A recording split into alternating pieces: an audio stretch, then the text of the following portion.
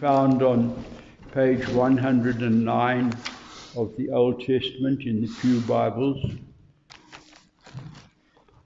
Our New Testament reading is to be found on page 310 of the Pew Bibles, and it comes from the first chapter of Revelations, commencing at verse 9 and carries on through the second chapter until verse 7. One like a son of man. I, John, your brother and companion in the suffering and kingdom and patient endurance that are ours in Jesus, was on the island of Patmos because of the word of God and the testimony of Jesus. On the Lord's day, I was in the Spirit, and I heard behind me a loud voice like a trumpet, which said, Write on a scroll what you see, and send it to the seven churches to Ephesus, Smyrna, Pergamum, Thyatira, Sardis, Philadelphia, and Laodicea. I turned round to see the voice that was speaking to me. And when I turned, I saw seven golden lampstands. And among the lampstands was someone like a son of man, dressed in a robe reaching down to his feet and with a golden sash round his chest. His head and hair were white like wool, as white as snow, and his eyes were like blazing fire. His feet were like bronze glowing in a furnace and his voice was like the sound of rushing waters. In his right hand he held seven stars, and out of his mouth came a sharp double edged sword. His face was like the sun, shining in all its brilliance. When I saw him, I fell at his feet as though dead. Then he placed his right hand on me and said, Do not be afraid. I am the first and the last. I am the living one. I was dead, and behold, I am alive forever and ever, and I hold the keys of death and Hades. Write therefore what you have seen, what is now and will take place later. The mystery of the seven stars that you saw in my right hand and of the seven golden lampstands is this The seven stars are the angels of the seven churches, and the seven lampstands are the seven churches. The church in Ephesus. To the angel of the church in Ephesus, write These are the words of him who holds the seven stars in his right hand and walks among the seven golden lampstands. I know your deeds, your hard work, and your perseverance. I know that you cannot tolerate wicked men, that you have tested those who claim to be apostles but are not, and have found them false. You have persevered and have endured hardships for my name, and have not grown weary. Yet I hold this against you you have forsaken your first love. Remember the height from which you have fallen. Repent and do the things you did at first. If you do not repent, I will come to you and remove your lampstand from its place. But you have this in your favor you hate the practices of Nicolaitans, which I also hate. He who has an ear, let him hear what the Spirit says to the churches. To him who overcomes, I will give the right to eat from the tree of life, which is in the paradise of God. Hear the word of God. Thanks be to God. Ever Father, I'm so grateful to be back behind our lectern. I'm so privileged to be here this morning, Lord, to proclaim your word. And we are so thankful as we have said in a number of different ways today, Lord. We are so thankful that we're able to gather easily and without any restraint. Father, I pray that this verse and this sermon which I have before you will honor you and will send us into the world, Lord, to be good harvesters of your crop. Thank you, Father. I pray this in Jesus' name. Amen. Amen. Please, will you sit?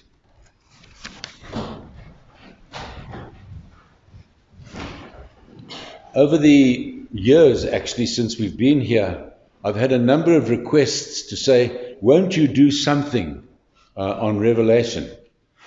And while we were away, somebody said to me, I wish somebody would like you, Dennis, would do something on Revelation.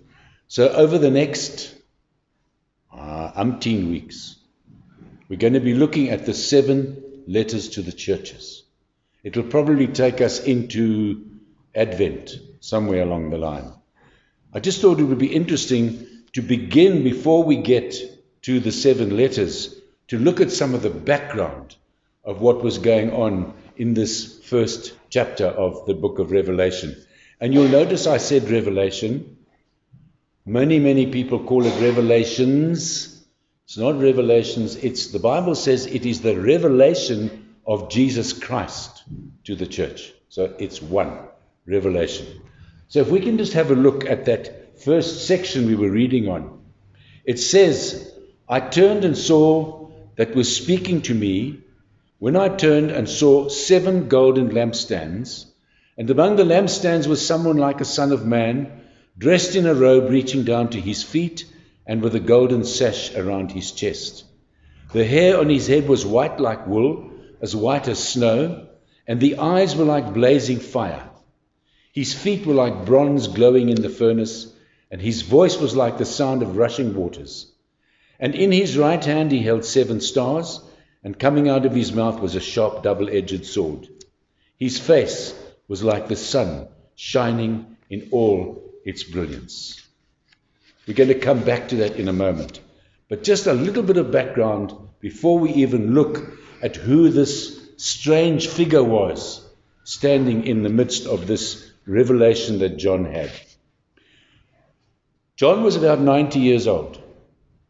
He was probably living at the time in Ephesus, and he was probably part of that whole persecution of preaching the gospel that he was sent to the island. Did I say Ephesus or Patmos? I said Ephesus. He was living in Ephesus, and he was probably sent as part of the persecution and the arrest to the island of Patmos, which is about 100 kilometers from nowadays Kusadasi which is in nowadays Turkey. That's the old Ephesus. If you have a look at the island of Patmos, you can see how little it is in the middle of the Mediterranean Sea. So, because he was there, and he was probably doing what Nelson Mandela did on Robben Island, he was probably crushing rocks at the age of 90. He had this wonderful, wonderful vision. And the opening vision is this wonderful vision of this one who is like a son of man. Now, if you go back to the book of Daniel, you'll find in that wonderful story of the fiery furnace, where Shadrach, Meshach, and Abednego were in the fiery furnace, there was one like a son of man in their midst. And they said, but we only put three in there, there's another one now. And of course, they came out without any hair on their head being singed. One like a son of man. And we immediately know that this is the risen Christ in this vision. So, what was he actually saying? He was saying there are seven golden lampstands. These were seven churches. Where were those seven churches? we see one in each of the places where the letters are going. So at the end of this wonderful vision, John would have written seven letters, and he would have sent seven letters to each of those churches, including all of them. Those were, those were churches of the time, yes, but they also represent every single church that exists now and has existed since then. So we can't say, oh, no, no, no, this letter to Ephesus doesn't actually apply to us. It applies to each one of us. I was, I was uh, tempted to ask Elise to read the names of these churches, and then I decided, no, I better not do that. So the seven churches were Ephesus, Smyrna, Pergamum, Thyatira, and Sardis, and Philadelphia, and Laodicea. Those were the seven churches. Today, obviously, we read about the church of Ephesus. He says there were also seven stars. So we see that the lampstands are the seven churches, and we see that the seven stars are the seven messengers or the seven pastors or ministers in charge of that particular church. Then he goes on to describe, does John, what this vision looked like. It says he had he was clothed in a robe reaching to his feet, girded across his chest with a golden sash. That gives us an indication of his priestly appearance. His hair was white like a wool, wisdom, hair like. That's why we are all wise, because we have hair white as wool. And it talks about the fact that he had burnished bronze feet. That talks about omniscience. In other words, omniscience is knowing all, and he, he, his feet are now all over the place. Remember, he said to his disciples, You will do greater things than I have done. Why did he say that? Because there was only one of him. There are many of us. But now we see this omniscient, all knowing, omnipresent Jesus Christ. And it says his, his voice was like the sound of many waters. That's his word. That's the word of God. So he is proclaiming this whole vision to the people of Asia Minor, nowadays Turkey. It's a wonderful, wonderful picture of Jesus Christ. And what happens when John sees this? He falls down like a dead man. What was going on in these churches? I said it was persecution that sent John to the island of Patmos. But listen what was going on. There was tribulation, there was persecution, the encroachment of worldliness, false teachers, false doctrine, compromise, coldness, indifference. Think of the church today. Think of what's happening in the church today. There is tribulation there is persecution, there is the encroachment of worldliness, false teachers, false doctrine, compromise, coldness, indifference. Only two of the seven churches were regarded as being faithful. Only two of the seven. All the others were not commended. Only these two were commended. Five of them were in severe danger. Ephesus, the one we're looking at today, I'm not sure if we're going to even be looking at Ephesus today, but we'll get there. Pergamos, Thyatira, Sardis, and Laodicea. And he warns them, does our Lord Jesus through John, to say, You are in danger. And in fact, you will see a little bit later when we get to Ephesus, Ephesus, he says, If you don't change your ways, I'm going to remove your pastor from you. And what is so interesting is that if you go to Kusadasi today, there is no more Ephesus church. It died as a result of this particular letter. So, the one who holds the seven stars in his right hand, the one who walks among the seven golden lampstands, says this. And he says, Who is that? That's the Lord Jesus Christ, the Son of Man, pictured in the vision. And the Lord is the speaker. And it is He who is speaking to the church. Now we come to the second letter. He is the first and the last, and He has life to come. So we begin now to look at this particular church. And I want you to tell you this that of all the churches, the church in Ephesus probably had the very, very best start. Just think of some of the teachers Aquila, Priscilla, Apollos, Paul, Timothy, Titus, John. These were all people, and you know what the beauty was about the church of Ephesus was that they started off on the right foundation, the foundation of Jesus Christ. What do we know about Ephesus before we even begin to look at the letter? We know that the Romans called it Luminasia. In Latin, the light of Asia.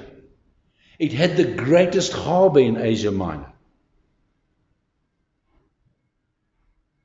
It was a place where goods were brought in, sold, much industry going on. Four great highways coming into Ephesus, great trade routes. Most of all, and importantly enough, it was called by the Romans the highway of the martyrs. The road between Ephesus and Rome, where the Christians were thrown to the lions, was known as the highway of the martyrs. It was a free city. All sorts of religions were allowed, except, of course, persecution of Christians. And what was very, very interesting about Ephesus, and most of you will know this, is that it had this great religion called the religion of Artemis or Diana. I remember as a child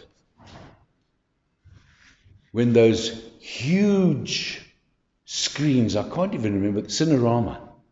Do you remember Cinerama cinemas?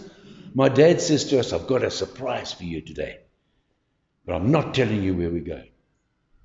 And he took us to Cinerama in Joburg. And I will never forget the name of the movie. It was called The Seven Ancient Wonders of the World in Cinerama. Did you go to Cinerama? Wonderful experience. The statue of Diana was one of the greatest ancient wonders of the world, together with the Hanging Gardens of Babylon and, and, the, and the Giza pyramids and all those others. So, now finally, we get to verse 2. No, no, I don't want you to get put it back. I'm just wondering how we're doing for time. You think I should stop? Do you think we should stop here before we go into the letter? Just a few more minutes, right? Let's get to verse 2, where we want to be right now. There is a commendation for this church. He says, I know your deeds, your toil and perseverance, and that you cannot tolerate evil men. And you put to test those who call themselves apostles and they are not, and you found them to be false. You have perseverance and have endured for my name's sake, and have not grown weary. I'll tell you what, if that was a church in this town, you would join it. You've not grown weary. You've put up with all sorts of things. You've put up with evil and you've called out evil. They weren't lazy, they weren't indifferent, they were busy. They were giving everything that they had to the worship of Jesus and his church. They were not going to church for entertainment. And I must tell you once again, and please forgive me for saying this, but we went to some churches while we were away. The entertainment value is very high. The cappuccinos are very, very good. But I'm afraid and forgive me for saying this, that a lot of those people are onlookers, watchers, love to eat the fruit of the harvest without wanting to put any work into the harvest. So, not only were these people known for their deeds and their toil, but their perseverance, their patience, their persistence. They worked through all these things.